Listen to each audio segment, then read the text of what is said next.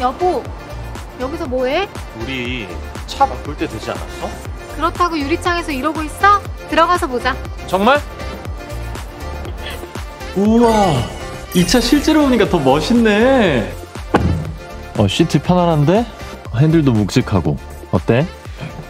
넓다. 운동장 같아. 시승 한번 해보고 싶다 시승?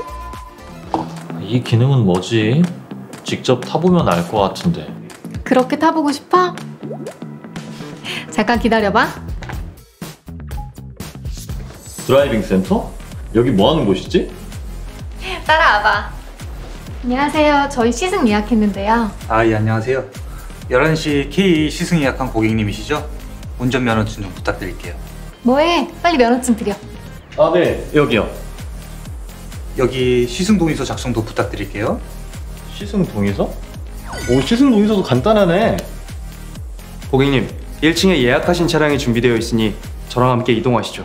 벌써요? 여보가 타고 싶어 했던 차 맞지? 어 고마워 여보 역시 날 잘 알아 시승 한번 해보시죠.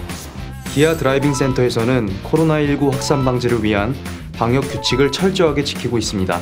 모든 고객님들께서 시승 차량 탑승 시 마스크 착용이 필수이며 기아 직원들은 탑승 전 차량 청결에 철저히 관리하고 있습니다. 직접 시승해보니까 어때? 아 너무 조용한데? 여보는 어때? 오, 승차감 엄청 좋아. 시트가 몸에 쫙 감기는 게 벌써부터 내 차다 싶은데 궁금하신 점 있으시면 언제든 여쭤보세요. 최선을 다해 설명해 드리겠습니다. 꼼꼼한 오빠한테 시승이 딱이다. 안전한 차로 변경을 위한 후측방 상황까지 모니터의 영상으로 나오고 에어컨 틀어줘 에어컨을 켤게요.